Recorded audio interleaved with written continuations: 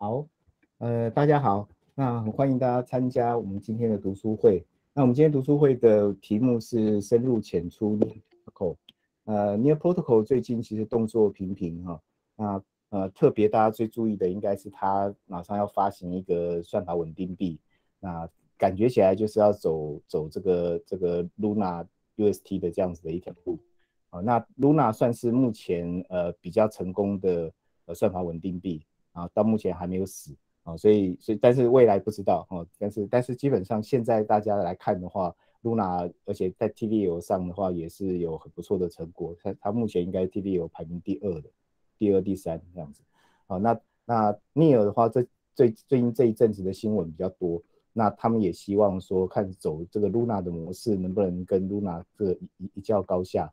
那所以我想说，今天也很高兴有这个机会可以请到这个 Dan 来，呃，帮我们介绍一下 Near。那我想，呃，我们，我们这个读书会是，呃，我们是首次尝试，就是说没有所谓的结束的时间哈。那一方面可以让这个这个讲者更充分的表，呃，表达他想讲的东西。那另外一方面的话，我我也是希望说有多一点的互动，哦，让大家互动的时间。不设限哈，那有任何的问题都欢迎你可以提出来，那大家一起交流，一起讨论。我想这个是读书会最可贵的地方啊，不然的话，其实我们我们因为也会也会有录影，然后也会放到 YouTube 上面，那很多其实大家 offline 去看看录影其实就可以了。但是我觉得最珍贵的应该就是互动的这个部分啊。那刚刚呃 Dan 这边他也有提到说，呃，在他的这个呃演讲的过程中，也很欢迎大家就是举手发问。好，那他在一段时间讲到一段一个一个段落，他就会来看一下说大家的大家的问题，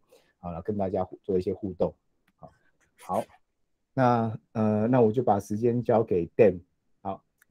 好，谢谢瑞老师。哎，那也谢谢今天过来的大家这样子。OK，那我这边就准备开始。哎，等一下哦。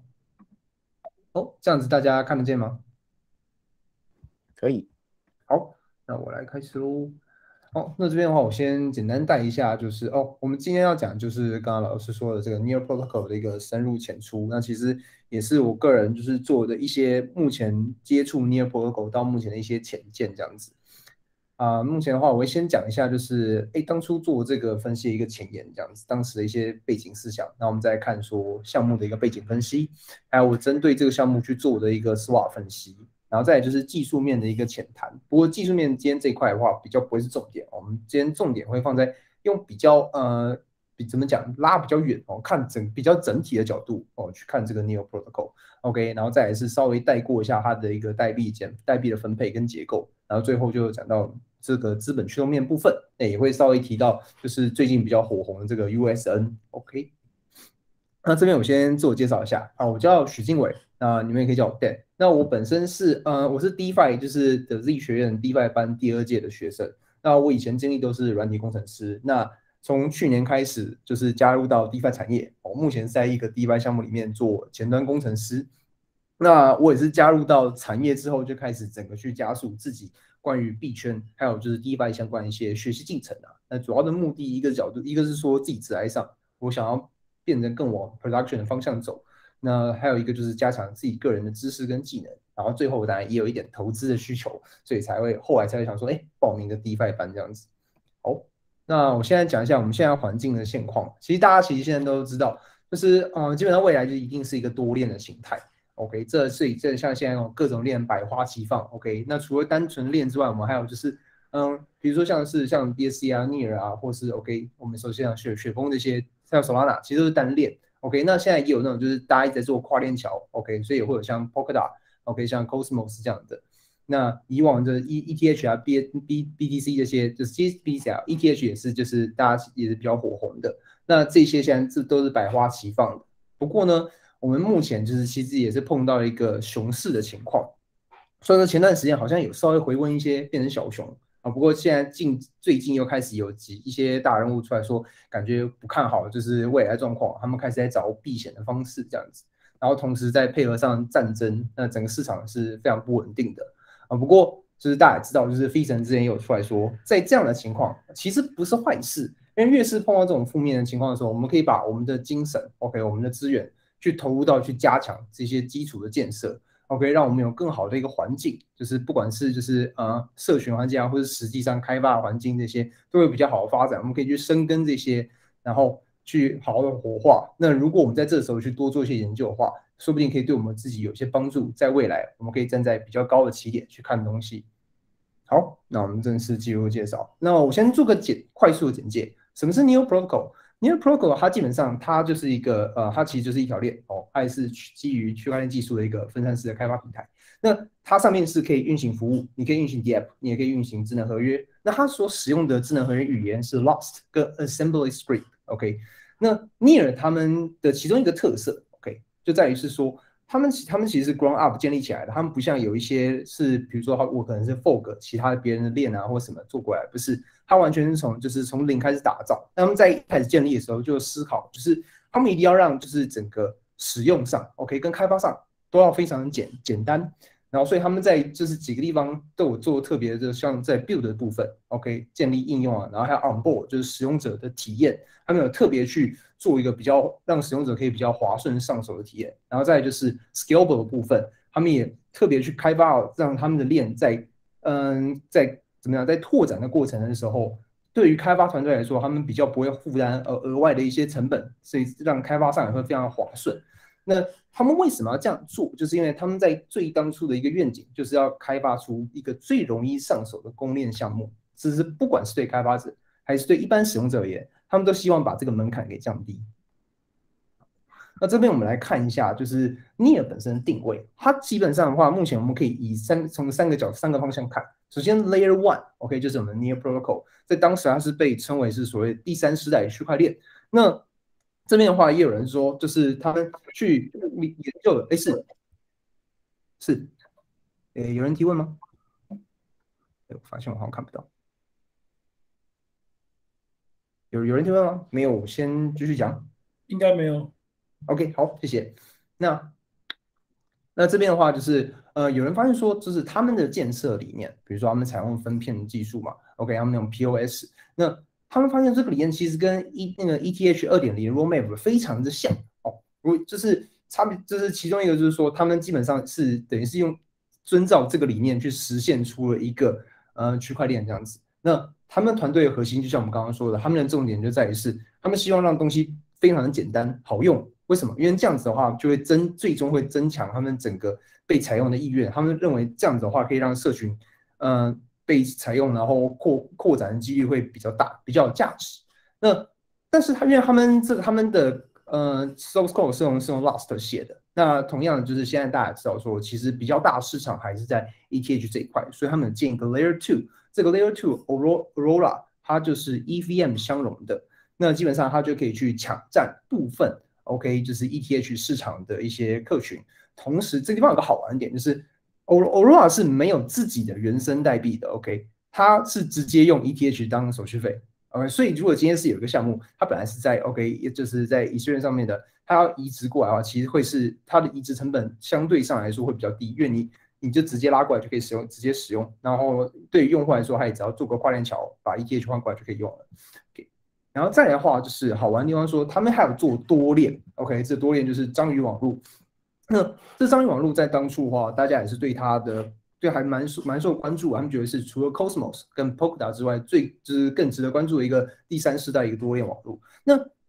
这个章鱼网络它主要的瞄准的客群，算是因为大家都知道说 Cosmos 跟 Polkadot 的话，嗯，Cosmos 基本上是大家其实就是你可你都可以去建，你可你可以去建一个应用项目，OK，去建。嗯，我们用比较简单的讲法就是，呃。我们比如说，假设 Cosmos 是一个村庄的话，OK，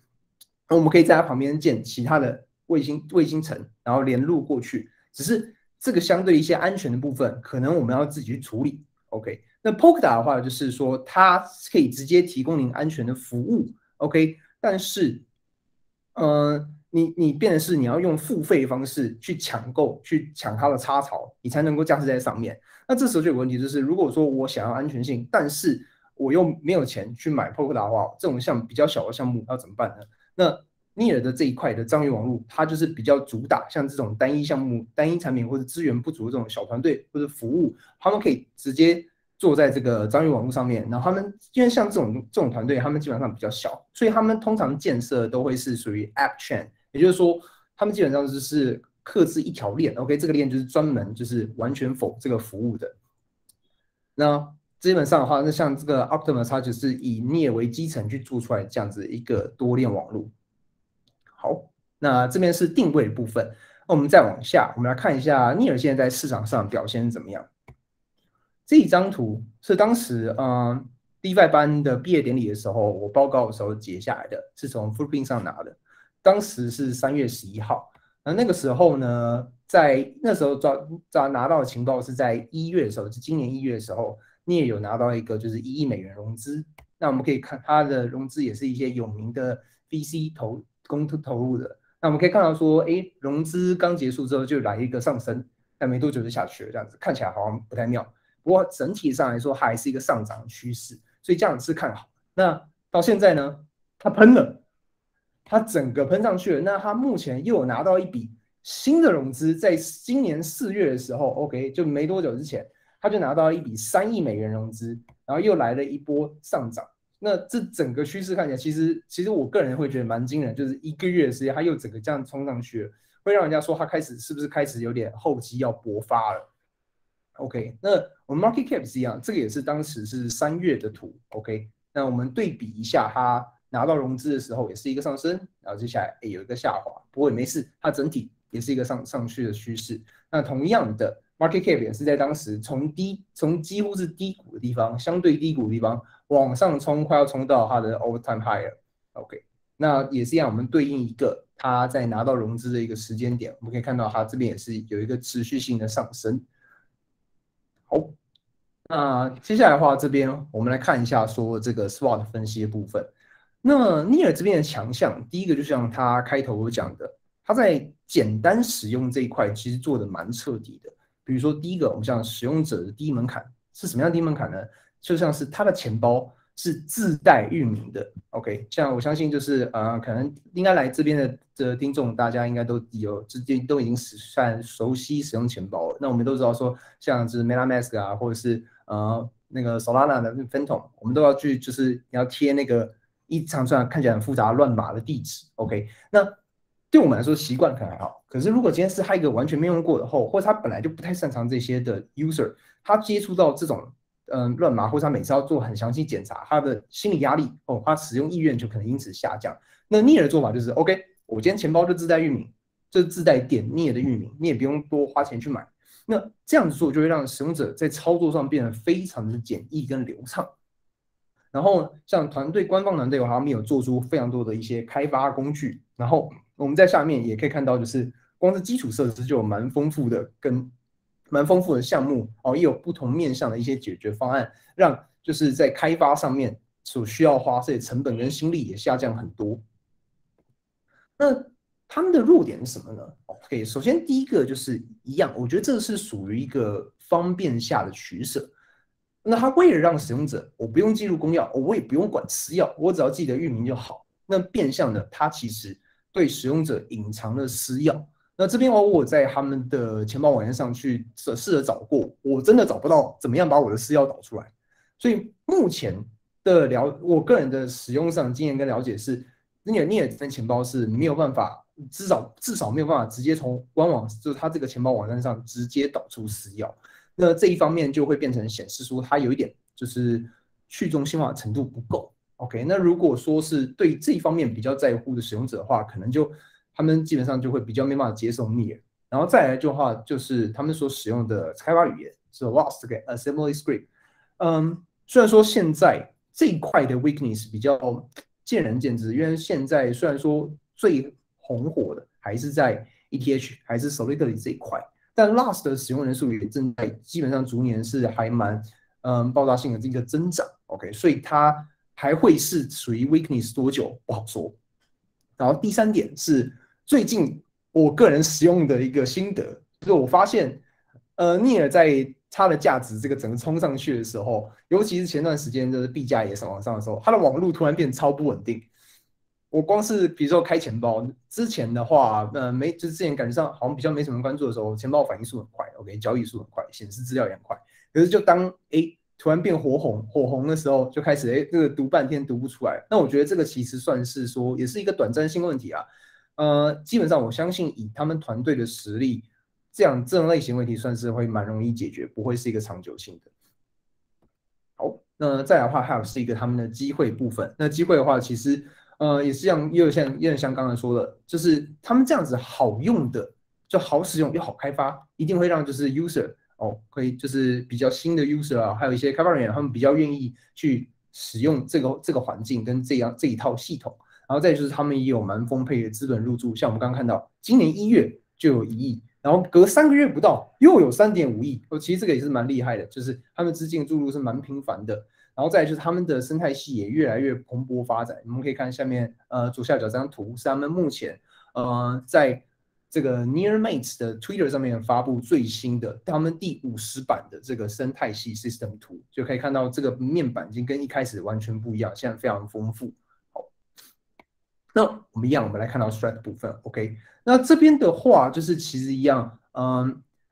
基本上我们要比较就是他们其实一样，大家对手其实都相似啊。第一个就是肯定全链对手 Ethereum，然后再来的话，为什么选 Solana？因为它 Near 毕竟它是用那个 Lost 去写，那我们就直接去对比一个 A Lost 上面最强势的项目的 Solana。其实相比之下的话，在呃 Market Cap 跟 Price 上面，还有整体的就是交易量，都还是稍微有点比不上。但这会维持多久呢？也是不好说，我们就静观其变。OK，那在另外一个还有一个是投资面部分，这个确实稍微有一点点是硬伤。OK，我们可以看这三张图，就最上面是 Luna，中间是 Solana，然后最下面是 Near。OK，那这个是呃我抓今天早上八点从那个 CoinGecko 上面拿下来的一个币价，我们做参考。OK，然后呢，我们参考的这个起始点哦，就是从一年前同一天哦，同一天也是四月十三号当时的币价，我们来看这个增长的幅度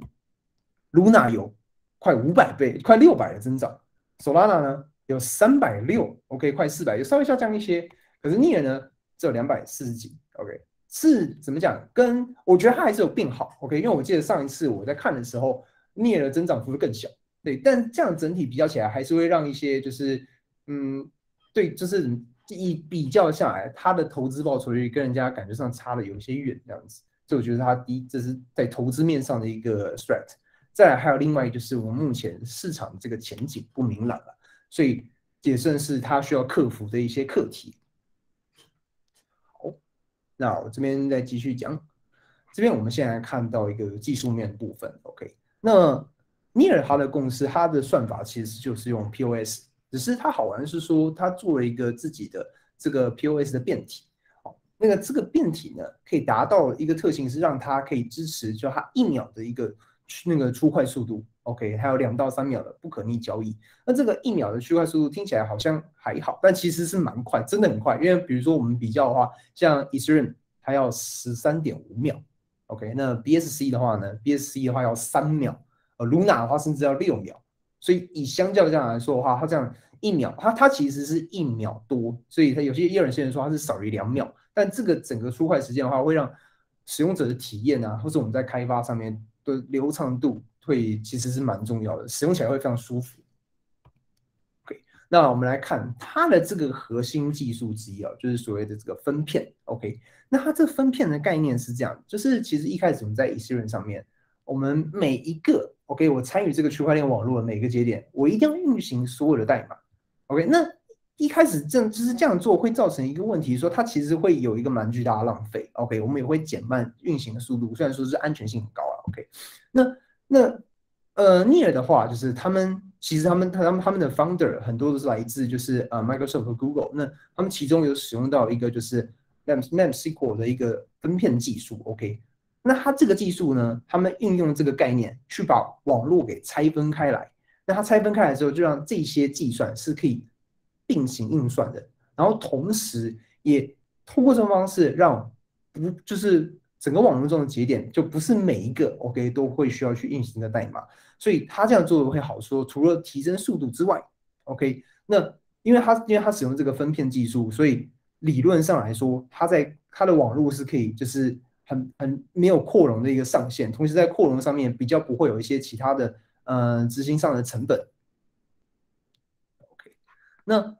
但是有好就必定会有一些缺失，那它就是在安全性上面会有一些要克服的部分。那像分片技术最大的一个点就是说，我们安全性这个分裂嘛，比如说像是 fifty one percent 的这个 attack 会比较容易达成。为什么？因为本来比如说假设一百个节点啊，fifty one percent 就是我五十一个节点，只要我都被攻击了，那我就可以去篡改就是整个数据这样子。那但是，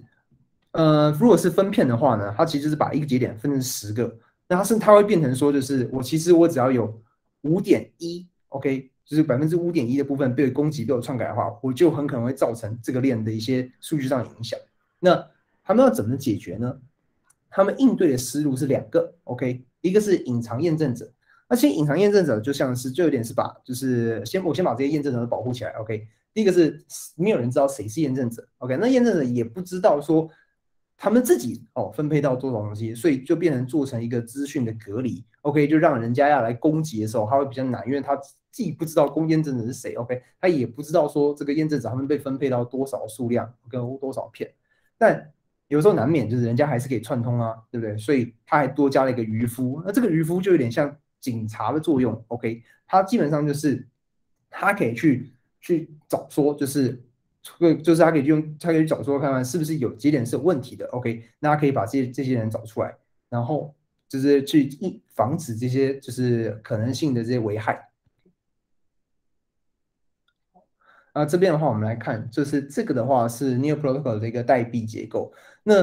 Near Protocol 这边好玩是说，它的 Gas Fee，OK，它的 Gas Fee 是每你被就是使用后就是是直接销毁的，OK，所以它每年都会有一个百分之五的新供应量，OK，那这个供应量呢，它会有百分之九十哦是分配给这个验证者，百分之十是分分配给他们的协议库的，那这个量就会继续去维持这个网络的发展，OK。那我们后面也可以看，就是它这边有说，就是啊，每个早期支持者他们会有一些固定的锁锁仓期哦，然后他会有一些按，就是按那逐，就是按按月份啊，按当时的规划去做一个逐渐的释放。OK，那他用这样的方式去确保说，嗯，当就是因为他这些虽然是一开始他们在发行的时候很多，但因为他这样子，他等于是都设定好，OK，是一个线性的释放，所以不会造成后续的一个快速的一个卖压，让整个市场被砸烂这样子。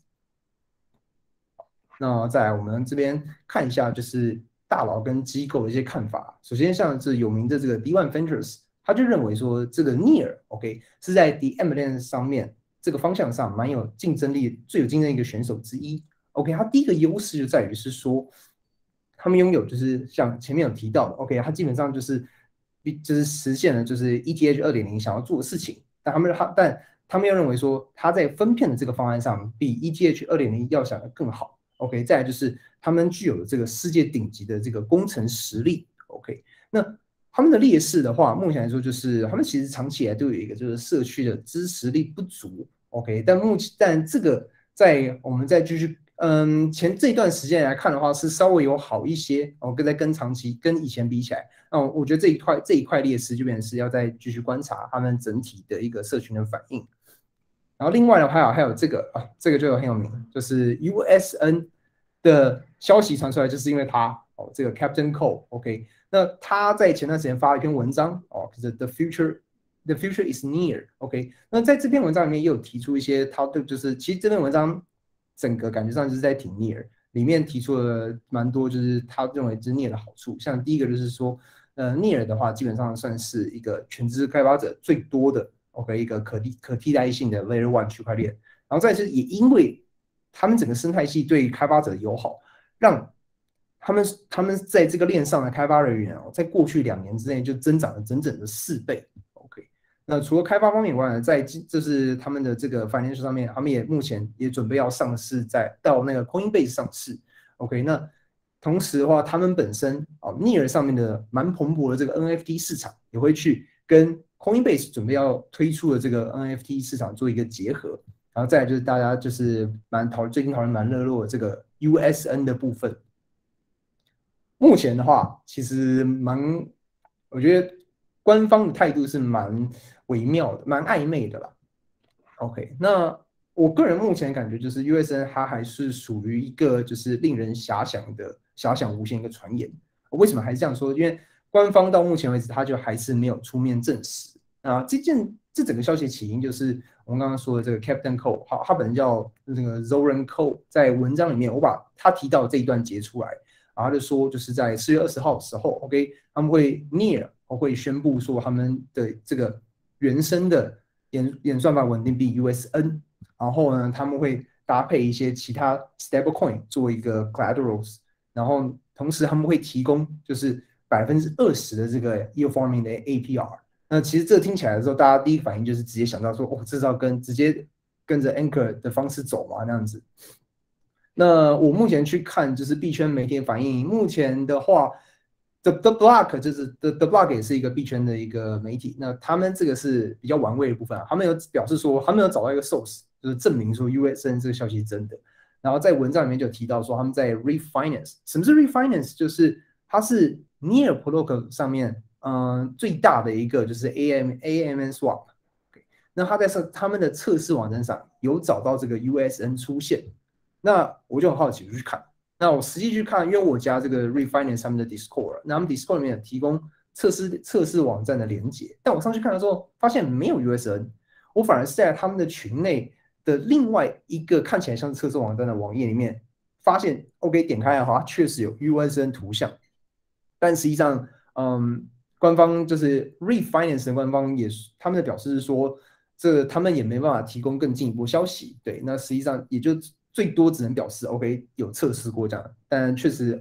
可能性会变得蛮高这样子。那我给大家看，这是我接下来的图，然后我有附，我在这简报上面附说，就是呃这个网址，只是因为目前我当我当时看的时候，我先在群内问，但是也没有也没有关，就是。群内群里面的人也没有特别正面的回应我这个网址是不是 OK 的，所以我当时点的时候是蛮小心。大家如果好奇想去看的话，也记得小心一点，就选一个，嗯，可能上面没有钱包的电脑什么这些去点这样子。OK，那我们在这个上面就可以看到说，他在 Swap 上面啊，还有他们做的，呃，这个 Sausage，等下我可以介绍，它其实就是，就其实就有点像 Curve 的三 CRV 这样子。OK。那它的下面就多了这个哎，USN 跟 USDT 的一个交换对，然后旁边我们也可以看到它的数据表这样子。所以目前如果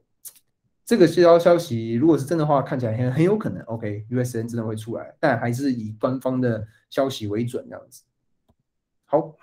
那后面这边的话其实快结束了，那我就先带介介绍一下几个，我觉得目前就是在呃 Near 上面还蛮有意思的项目。第一个就是这个 refinance，那它其实除了是呃 near 上面的 AM 之外，就是你也可以它的它其实它经常会出现一些新的这种就是 liquid pool 的矿可以挖，然后嗯不知道为什么目前来说，可能是因为使用人数真的低，它其实会有还很多还蛮不错的一些货货益，就 APR 很高的一些矿可以去抢看看。那好玩的一个地方是说，像前面提到嘛。它有做这个三 CRV 的铺，那我们也可以发现说，哎，它其实它的 APR 也蛮高的。OK，有到十七，我今天早上看的时候快到十八这样子，但当然它这个是浮动的啦，因为它的它是跟 Reward 走，那它这边的 Reward 就是挖这个平台 OK，Reef 的 Token 这样子。好，那我们再看下一个，这个是 Borrow，Borrow 这边的话是 Near 目前最新推出在他们线上的一个借贷协议。OK，那我目前是看了这边，我试着投一下，现在我想了解看看说有没有什么不一样。那目前整体上来说，我觉得没有太大的差异。那顶多就是说有一些项目，它的 APY 可能会比其他的好，像我跟阿肥做一些比较，像他贷的贷提供的这个利率就还比较好这样子。OK，好，那最后一个是因为我最近我自己最近呃接触 NFT 蛮多的，所以这个项目其实还算是有点吸引我。它叫 Pars，是呃 Near Protocol 这个链上就是蛮大的一个 NFT 交易平台。那它除了就是当然一般的这种 NFT 交易都有之外，它还最近跟 Refinance 合作出了这个 NFT 的 Staking。OK，嗯，它变成说，比如说我们放在这个上面，就 NFT Staking 下面的这些项目，假设说你有这个项目的 NFT 的话，每个 NFT 会有标一个价值。OK，那你就等于是你 Stake 这个 NFT，那你就你就你就等于，比如说你这个 NFT 价值是这个一百 PTS，你 Stake 它。就等于你 stake 一百 P D S 这样子，然后你可以去赚 reward，OK，这有点像是其实最近的 NFT 感觉上都有这个趋势，OK，他们除了做 staking 之外，还会发币这样子，要让它去创造一些线线上额外的一些赋能这样子。那至于效果如何的话，我这边还没买，还没实测。OK，如果之后做的话，可以再分享给大家。那我今天的分享就到这边，诶，谢谢大家。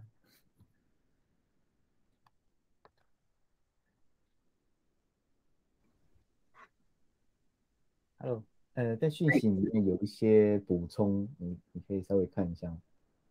哦，好好好，OK。讯息吗？对，OK OK。威廉有提到说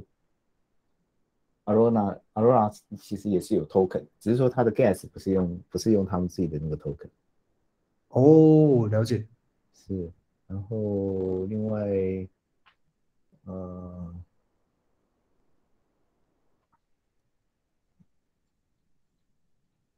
VS 六，VS 六，这个看一下，你看得到吗？有有有有，我有看到。然后还有这个 Weston 说，Near 是以 Weston 的合约为主，小语言可以变成这个是有 Lost 跟 TypeScript 的 SDK 可以开发合约，了解。好。A U E S，其实我有点好奇，因为我我自己还没有在 Aurora 上面执行过交易，所以我有点好奇，我想问 Williams，所以你你就是你已经亲自执行过交易，然后你发现他们扣的是这个 A U E T H 吗？因为我会这样问，是是因为我是去看就是 Aurora 上面介绍呢，他们说他们是以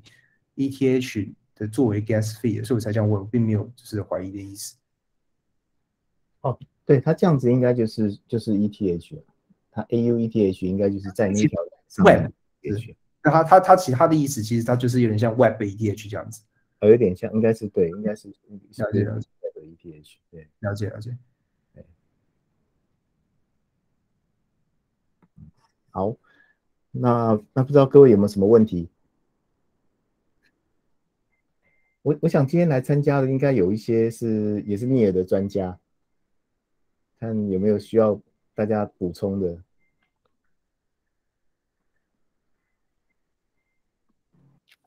我比较好奇的事情是，尼尔有没有要处理，就是现在在模组化之后，想要走把 execution 跟 settlement 分割这件事情？因为感觉尼尔是一个，他把 ETH 2.0当初的路径发挥的很完美，但是很明显，以太坊自己的 roadmap 做了改变之后，变 rollup centric 嘛，所以你在 layer one 的分片并没有做好，现在看起来并不是个问题，你只要原则上。Zk EVM 跟 zk rollup 做得出来的话，那就不会是限制这个使用者体验或者限制开发的问题。那 Near，因为我没有特别去看 Near 生态系，但我不确定 Near 有没有往这个方向来去处理。因为单纯看动态分片跟 Octopus 跟那个章鱼是非常棒，没有错。但我只是好奇，就是说他有没有打算去，比如让要让 TPS 上升，比如说两三个数量级的话，不可能就是靠动态分片的做法，嗯。这个的话，我现在目前的话没办法没办法回答，不好意思，因为我自己这边我也我也还在研究他们实际上这边技术的部分。我感谢感谢你的提问，这边我多一个可以去看的东西，谢谢。然后，哎，柚子那边有问说，聂尔钱包不能导出私钥是什么意思？再详细说明一下吗？嗯。简单来说，就是如果你在 Near 的网站，那比如说我们在 MetaMask 上面的话，我们直接，我们我们可以在 MetaMask 上面是把我们钱包的私钥导出来的。但目前在 Near 的钱包上面是没有办法做到这件事情的。就你你一样，你可以去记得你的助记词，但你没办法把你的私钥导导出来。这样子讲的话，嗯，有回答你回答到你的问题吗？呃，有的有的，好的，所以所以意思就是说，呃。就是他只能用助记词去汇入，对他那蛮方便。他甚至还有开放说，你你还可以用 email 的方式。就如果你懒得用助记词的话，他会说助记词是安全性最高。而假设 user 不想，你也可以用 email 的方式去还原你的账号。所以等于是也可以用 email 去绑定。对，也可以用 email 去绑定。哦，好好的，我那我我理解了，谢谢谢谢。不会，哎，想问一下，你说。它没有不能导出私钥，但是它有助记词。对，哦哦，那其实助记词就是私钥啦。助记词，对啊，助记词其实就这样子。对对对，因为对不对？其其实是可以反推啦，对对对对，嗯，对啊。那因为我我本来还以为它是一个 custodian 的一个 wallet。哦，没有，它其实它是有助记词，但是你不能说是像 MetaMask 那样子，我们可以直接导出一串，就是它已经 hash 过那个助记词，因为 hash 过的私钥这样子。哦，OK，了解。那呃，那你说可以用可以用 Web Two 的方式，呃呃，就是用用用那个 email account 的方式，呃，登录。对。这个部分的话，就那这样不是就是一个 custodian 的一个 wallet？所以我才会觉得它的就是去中心化程度不够，因为这一点就很妙啊，就是如就像就像就像瑞尔老师你说的，嗯，他一方面他不让我导出，嗯，他他虽然给我助记词啊，不过如果让 U 如果 user 不是他其我觉得他其实是给予 user 选择，这个 user 他如果就是他觉得他可以 hold 好这些的话，或者他他愿意去多深入的了解，OK，他去自己去掌管助记词这些，那就没关系，感觉上这个钱包其实是托管在 user 自己手上。可是 user 如果希望方便一点哦，他可能就是不擅长这一块，他或他没有太多时间，那他可以直接用比较简便，他他比较习惯性的方式去做这种操作，所以才会推出这种，就是他可以用呃手机，他可以呃讲他可以用 email 的方式，OK 去做一个认认证跟连接，那之后还要引破，我要还原，只要透过 email 就好。我觉得他其实是给予一个选择啦，他不是完全的就是 custodial 的一个 wallet，但是。必须承认，它的去中心化程度没有那么足。呃，哎，不过我这一点我倒觉得是应该，应该，呃，也也不能说它去中心化不足，应该说它其实给给给人两种选择啦，一种是中心化的钱包，一种是去中心化的钱包。因为因为基本上那个有有给给你有提供这个这个助记词给你这这件事情，其实应该就是属于去中心化钱包了。啊，就是属于 non-custodian 的 wallet，对，所以它基本上是这两种都提供，等于说让大家进入的门槛更低一点。有些人希望说用 Web Two 的方式登录嘛，这样。可以，好。那还有没有人有一些问题想要讨论的？哎，我有一个问题，就是说，呃。在 Near 的节点现在是目前是一百多嘛？那它现在的问题是在于它，呃，质押的这个成本还是太高，还是说它有什么东西等待时装？要不然的话，一般来讲，一百多这个数字通常是在那种呃拜占庭容错高什么系统主要是一百多这个数目。那既然你也用了不太一样的这个共识演算法，它应该是能够做到更多。那它现在停在这个地方，有没有那种技术上或者是说它在？这个经济诱因上的设计还没有做到的地方，我是真的不知道那的情况，但是我只知道我在蛮多地方看到节点数都是一百多这个数字。哦，你意思为什么都是一百多？是不是？对，就是我我可以理解 Cosmos 系一百多的理由，是因为它有那个那个拜占庭 fault tolerance 的问题，但至少在 EVM 体系或者是别的地方都不会说一百多是足够嘛。就是受虽然被泡的很惨，但是好歹说有一千嘛。那你能不能做到像是这个意思，或者说是 Bitcoin 这种十 K 以上，那个是再说。但是至少一百多这个数字看起来是蛮有趣的，所以我不确定问那个议题现在是卡哪边的，对，不知道你有没有研究这一点。这一块这块还没有，这块还没有。对，感谢你的提问，这我也可以去查看看。哎，所以 Near 的 Near 的节点只有一百多，它是它是 permissionless 的嘛，对不对？它一百多的节点这样子 security 够吗？permissionless 这件事情不保证说它的数目很大，就跟就跟你在 BN 你你那个 BNC 就只有二十一个节点，如果你有上百上百万美元 BNB 或者可以抢，看那上百万颗 BNB 可以抢，那售的话理论上任何人都可以架节点，但是你架节点你投票就要花手续费嘛，所以经济诱因就是除非有几万颗售 staking 给你，否则你也不会想做，所以数目为什么只在一千多？所以就。我觉得不同的演算法，它一定都有经济诱因的问题。就是你总不能说任何一个人去架一个节就跑起来嘛？那样的话，就以太坊是在这方面做到极致，所以压三十二颗就跑得动。但是我是真的不知道 Near 的这个这个节点有什么要求，不论是硬体上还是经济上，还是说有哪些地方还没做到是一百多这件事情，对吧？但反正我我们会看得出，我们就是不知道，但反正就就问了，对吧？OK，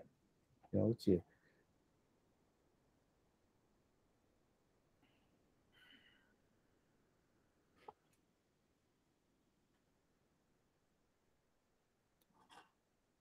好，那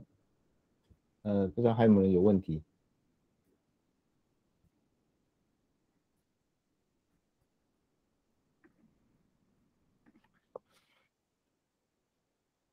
哎，可威，你你这边看还有没有一些想要多了解的，也可以都都都一并。没有，因为我我我自己是一直觉得 Near 就是一种完全发挥了以太坊早期所有优势的一个公链，但是以太坊早期面就跟以太坊晚期不一样，所以我就只好奇，就是说，那等以太坊今天转向之后，那 Near 有没有往那方动？那看起来就没有到，就是一样对开发者有算弹性分片，然后可以用。用以太坊付这个 Aura 手续费，但是就他没有让我那种感觉，出是说出来一句话让我吓到那种东西，就对，就是他每方面都非常中规中矩，对啊。嗯哼，就我自己的感觉而言，至少手上他敢说 OK，他有一个链上订单部，我还没有看到别的地方敢来拼这件事情。当然，做不做好，会不会停机那是一回事。不过，反正大家都知道，只要一急起来，每一条链除了以太坊跟比特币，全部都停机。对，都停机对。呃。Avalanche 好像还不算真的停机过，但 Avalanche 真的是教授链有撑住就对。但是 Arbitrum 停机过，ZK Sync 也停机过，Layer Two 也停机过，然后 Solana 一直在 degradation 嘛，然后这个这个 EVMOS 跟直接直接 shut down，然后 Juno 也也 shut down 过，然后所以 Cosmos 体系那边也停过，然后呃，所以看了半天就是好吧，那那那所以会会停机可以接受，只是。至少要说出那一种别人觉得一句话那种说，我一句话就说别人都做不到，就我做得到，那的话我觉得卖点要好很多。因为我会觉得你也很像是那种，就是好，他每一样都做很棒的模范生，那你可以说他一一一个东西他他做得到，别人做不到。我想说，呃，我没有感觉出来，就对。OK。哎，那 Terra 嘞？Terra 你觉得他是怎么样的一个吸引？我觉得 Terra 就是一个把联盟链跟企业包装成公链的东西啊，那这。他他的重点从就这种感觉，说问问用技术的角度分析 Terra，就仿佛要用才就就仿佛用技术角度分析 NFT 一样，完全没有道理。就是它如果是一个社群跟金融面的东西，那就完全不能用 Layer One 的技术去分析。就是你今天问你今天问一个 NFT 项目有没有什么技术，其实有时候根本不重要，它可能是商它可能是社群共识的问题。那问 Terra 有没有什么技术，可能根本不重要，反正 Cosmos DK 它也没加任何东西上去。但是我们就先不论 UST 到底是个。区块链创新还是庞氏骗局？它至少走出一条完全不是依靠技术的道路？那那那现在看起来，你也要玩 USN，Wave 刚刚 USDN 才半爆炸过一次，所以对，这这种这种做法，我觉得公链好像智能合约跟 DeFi 如果玩到最后只剩这样的东西，那也是蛮无奈的，对啊？对吧？就就 DeFi 二点零，好歹好歹虽然是庞氏，还有。就它虽然是庞氏，但是背后都是各种 protocol control value 的应用嘛。从 fair protocol 开始啊，到卖棒的 OHM，还是说 whatever，都至少是在 protocol control value 上面来玩。那你说 U S C 这种只是把 protocol control protocol control value 拉到 layer one 的等级，意思是说要炸坏整条链直接炸掉。就是你说 OHM 炸了，以太坊不会炸嘛？那个 Wonderland 炸了，阿邦曲不会炸。但是如果你现在 U S C 炸，Luna 直接炸掉，所以。我觉得这一种把 security 压，就是把 TVL 跟 security 拿来取舍，是一种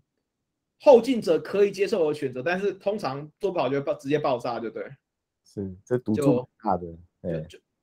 因为因为因为呃，protocol layer 应该做 protocol layer 的事情，application layer 应该做 application layer 的事情，所以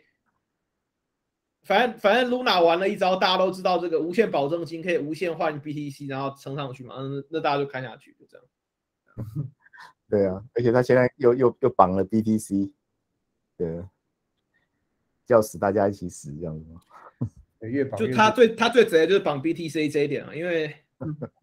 对啊，嗯，OK，嗯，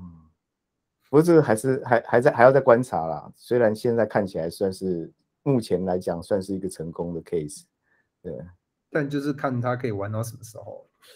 对，嗯，因为。对啊，这种玩法就不是技术可以考可以讨论的。这样它变，它就变成是说，它等于是，它它有点像是那种，就是他他也他没有想要把精力花在去做技术上突破，他就是不做技术玩法，他去做金融的玩法这样子。是是，对啊，所以这个稳稳定不是靠算法去稳定的。对对对。OK。那他团队是，他就是他 Layer One 的 Layer One 的效能或 Layer One 的东西不做，跑去做 Application Layer 的东西是件非常妙的事情。当然，他至少 Luna 成功嘛，所以至少可以成功过一次。但至少到现在为止是成功，但没人说长期会长什么样子。是是，我至少觉得 Avalanche 看起来没有要学这一套，实在是还算是蛮不错。对，嗯哼，嗯哼。讲了一句非常有梗的话：“稳定币算法不是靠稳算法来稳定。”这这这一句话 真的是，你现在现在现在算法稳定币靠本来稳定的，对，算法稳定币现在都死光了。真正靠只靠算法的话，对，都死光了。其实 Frex 做的还蛮成功的，就是啊，对对，Frex 对吧？Frex 就是真的老老祖宗算法活到现在。是，别的东西都是其他都不算是那种真的当初那一波算稳就对。对，不过 Flex 它是 partial 的啊，partial 的。对，但是 partial Titan 直接爆炸，所以 Flex 就是大户没有到货，然后开启那个 Vollock Flex，然后再上 Curve 池，再买一狗票 CRV 跟 CBX 之后就稳住了。所以，嗯，他就是他是真的就不是说他技术上有什么特别的地方，因为别人都搞那种部分部分储备金算稳炸光光也是有，就他没炸，所以这就是他们。这个庄家或项目方够硬的地方，倒不是说技术有什么特别的地方，就对。哦，不过还有一个蛮神奇的，Amberforce 也没死。Amberforce 它在它在技术上就不会死，它最多就是 TV 啊一直往下掉，它的价格一定是 Peg 一啊。